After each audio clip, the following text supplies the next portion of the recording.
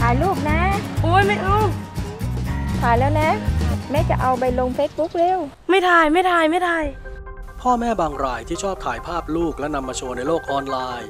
บางรายเมื่อมีลูกยังเด็กมาก ซึ่งยังไม่สามารถสื่อสารถึงความต้องการของตนเองได้ว่า ต้องการให้นำรูปของตนเองเผยแพร่สู่โลกโซเชียลหรือไม่ สิ่งเหล่านี้อาจจะกระทบจิตใจของลูกเมื่อเขาโตขึ้นได้ กฎหมายที่เกี่ยวเนื่องกับการละเมิดสิทธิเด็กนั้นค่อนข้างชัดเจนและเข้มงวด โดยเฉพาะในยุโรปและอเมริกา ห้ามเผยแพร่ข้อมูลของเด็กที่มีอายุต่ำกว่า 13 ปี ทั้งนี้ประเทศไทยเองก็มีพระราชบัญญัติคุ้มครองเด็ก พุทธศักราช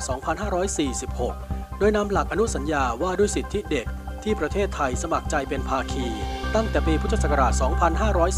2535 มาบัญญัติไว้ในกฎหมาย ซึ่งมีการระบุโทษแห่งการกระทำผิด หรือการละเมิดสิทธิเอาไว้ชัดเจน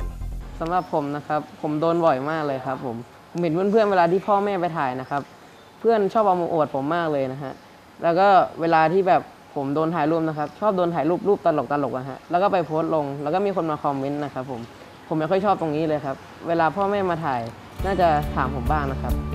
พ่อแม่ผู้ปกครองจึงควรหลีกเลี่ยงการถ่ายภาพที่ไม่เหมาะสม ลงสื่อออนไลน์ หากลูกอยู่ในช่วงวัยที่สามารถรับรู้ได้ และแสดงความคิดเห็นได้แล้ว ควรมีการถามความสมัครใจของลูกซะก่อน เพื่อเป็นการป้องกันไม่ให้กระทบกระเทือนจิตใจของลูก ซึ่งอาจจะเป็นผลร้ายในอนาคตได้ รู้เท่าเอาไว้กัน รู้ทันแล้วแก้ ดีกว่าสายเกินแก้ เพราะจะแย่จนแก้ไม่ทันนะครับ